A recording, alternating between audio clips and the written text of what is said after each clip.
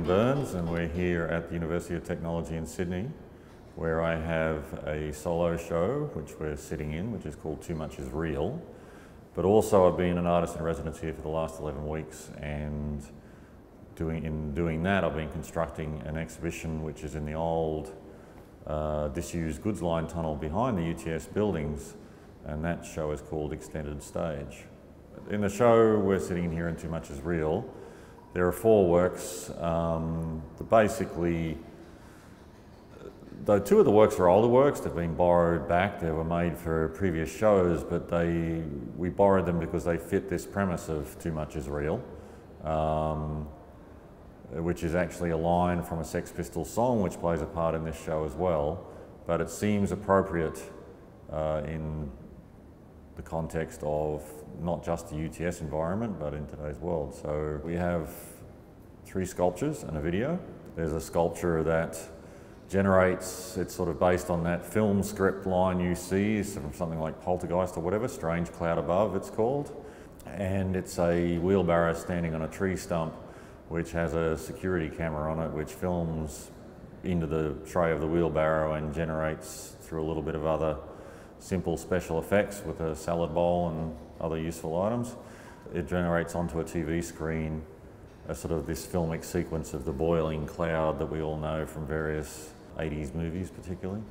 Then we have uh, uh, one of the first pieces I made where I started focusing the filaments of light bulbs onto the walls to generate diagrams and text and ideas. Um, and so this, this work actually generates a very rough diagram of a ship. It was actually made as a, for an exhibition I was in some years ago at Lake Macquarie City Gallery for, where I grew up, which is the area where I grew up. And that show was ostensibly about the lake or the concept of a lake. And the thing about Lake Macquarie is that it has no proud moment of discovery. The ship to discover it ran, ran aground thinking it was somewhere else. So there is no proud rendering ever been made of Martha, the ship captained by Captain Reid that discovered uh, Lake Macquarie, so I felt entitled to make uh, at least Martha's Shadow. Uh, the two new works in the show, there is a work that's flashing behind me, which is called Blender.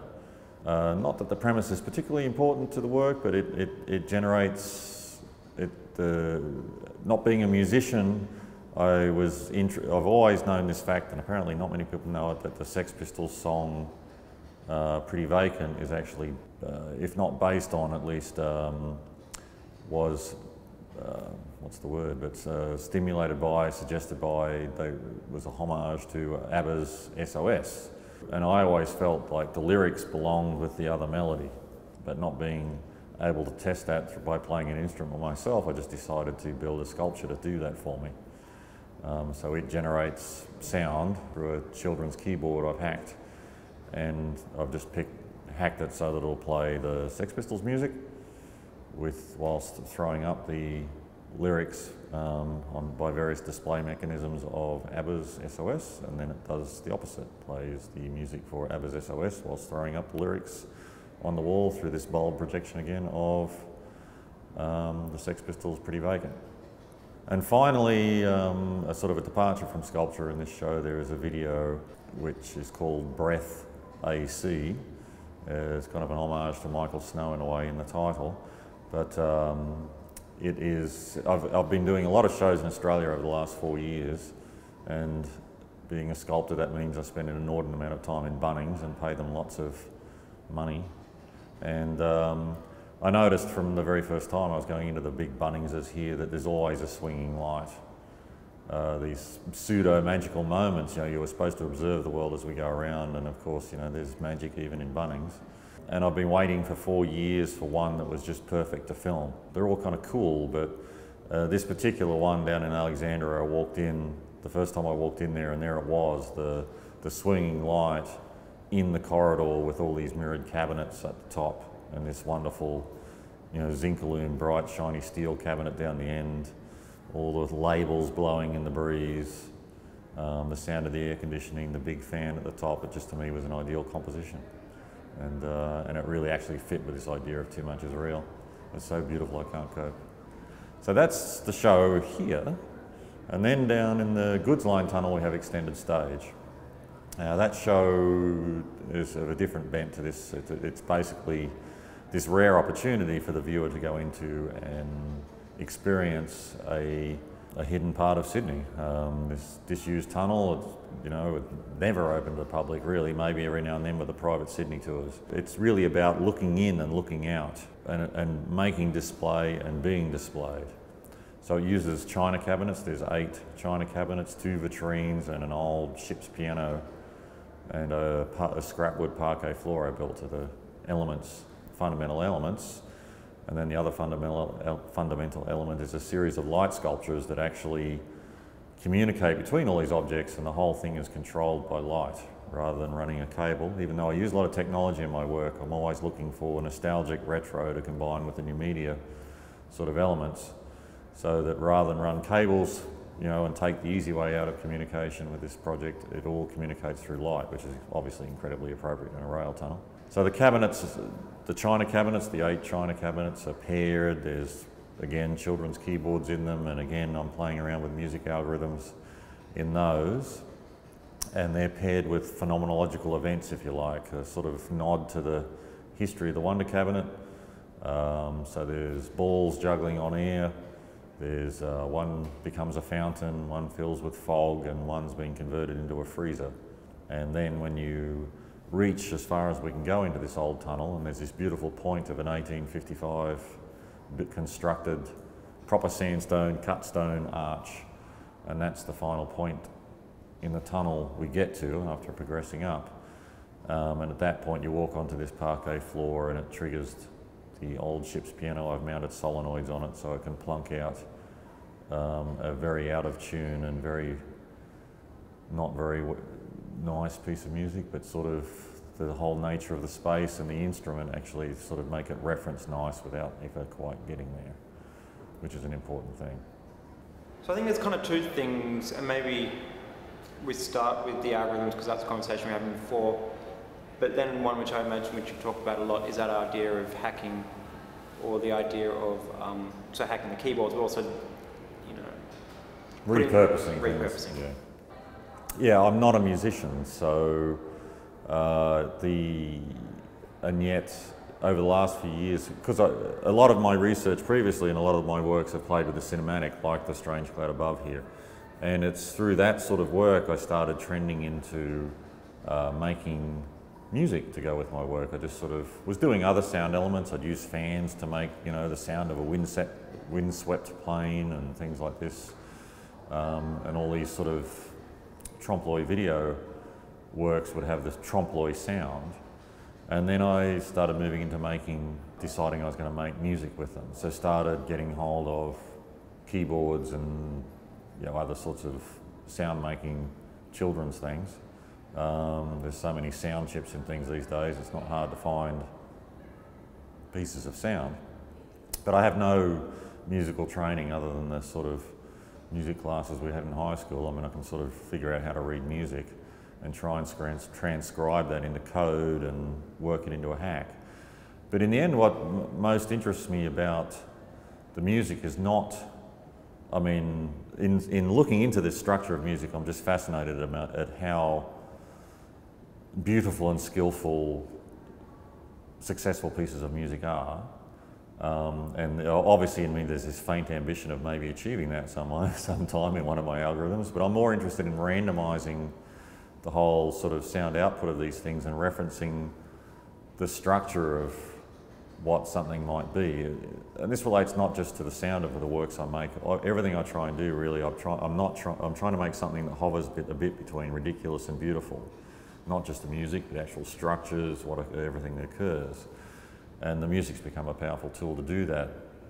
Uh, the first piece where I really did it was actually shown at ACMI a couple of years ago, and it was this very complicated work uh, that was part of Experimenta, and it um, it did this sort of road movie sequence of scenes but then I had this children's keyboard I'd hacked, and I developed this structure of the, you know, the, you know, the quiet piano, you know, Michael Nyman-esque sort of backdrop, the trope. I mean, everything's tropes these days with technology and the distribution of information systems we're in, everything's down to tropes.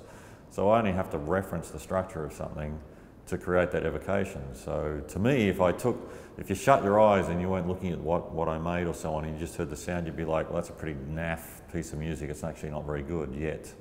The feedback I constantly still get from that piece, because it's traveling around the country, is the music is beautiful. Um, and it, it's not actually, it's, it's structurally and so on, it references the beautiful, but it's not uh, quite. I mean, I wish it was in some ways, that would be an ambition, but, but then it would become something else. And uh, if I made the music beautiful, it probably wouldn't be appropriate for my art. It would become something else to be performed some other way. But So there's a lot of sound in the extended stage product, uh, project, and it really is uh, driven sculpturally the way I work in that it was all found, the foundation piece is this old ship's piano that we got for 20 bucks and paid 270 bucks to have moved. And it had, I went through it and looked at the workings and looked at the innards and figured out there was 11 keys that were pretty good to go and the rest of it was probably not going to work. So that the whole foundation of the sound throughout extended stage is based on those 11 keys. So the old piano, I wrote a ridiculously silly, complicated algorithm to make every possible chord um, and random, random pauses between things. So it makes quite ugly sound, but because of the nostalgia of the instrument and we're on the scales we sit, it's, it's still evocative, the space, and it is amplified through an old railway PA system um, that I managed to get hold of. So it all has this evocation of nostalgia. So even though it sounds pretty terrible, I think we all sort of feel this sort of, oh, it's sort of beautiful.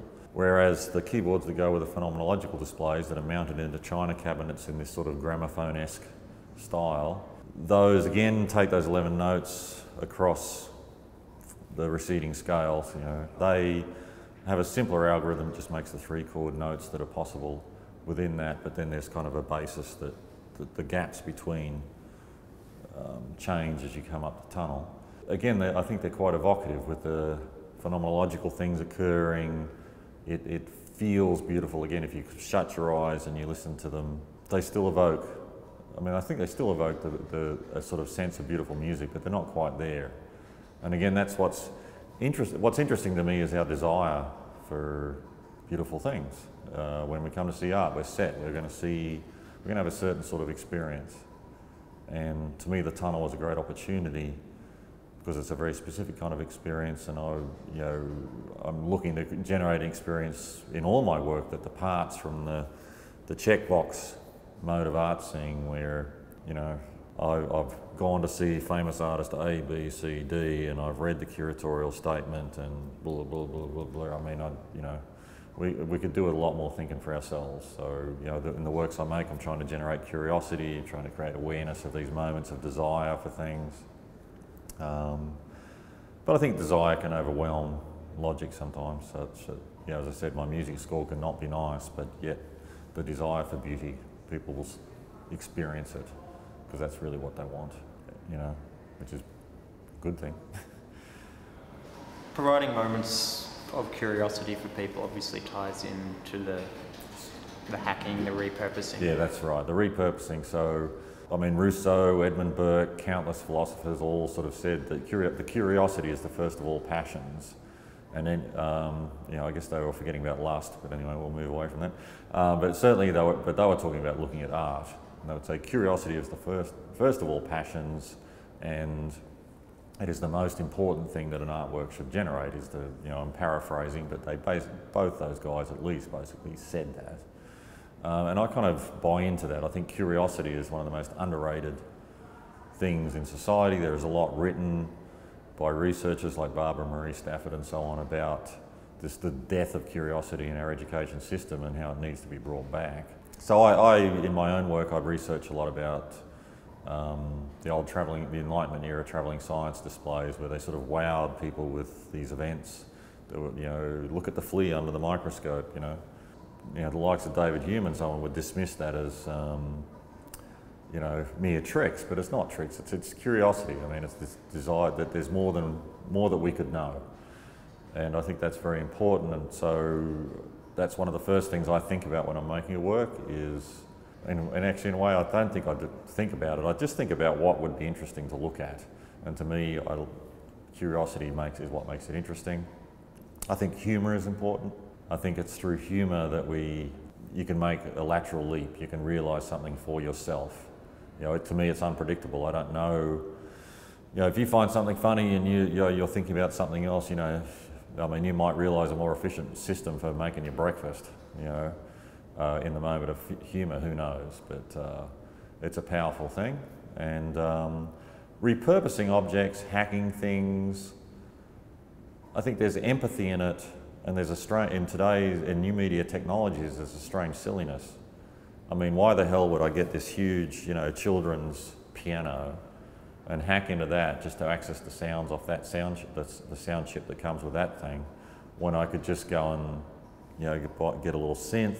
I mean, the synths are so sophisticated now, as most people would know. You know, you can just tweak them, you can get the perfect waveform, you can make them sound like a shitty old chip's piano. It's easy. Uh, but I've got a shitty old chip's, chip's piano because it's an object.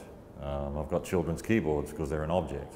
Um, they carry other burdens and other significances. So, you know, even though it was a lot of work to figure out how to stuff the children's piano into a china cabinet um, and come up with an amplification system that wasn't just putting a guitar amp on it to bring the sound out. There's actual, you know, speaker horns and, you know, gramophone style amplification systems being used. Yeah, the, the objects are important. I mean, you know, I even sort of used in those systems, for example, uh, the sort of amplifiers that people buy for to stick on the rear deck of their Toyota in Western Sydney. You know, look at my car amp. Um, you know, so put that on display in the China cabinet made sense to me with the children's keyboard, with this, with this more nostalgic amplification system. It sort of plays into the way I work, you know. Uh, a, a, bit of new media, a bit of cultural significance, a bit of empathy for understanding, repurposing things, and yet a weird kind of nostalgia, I think.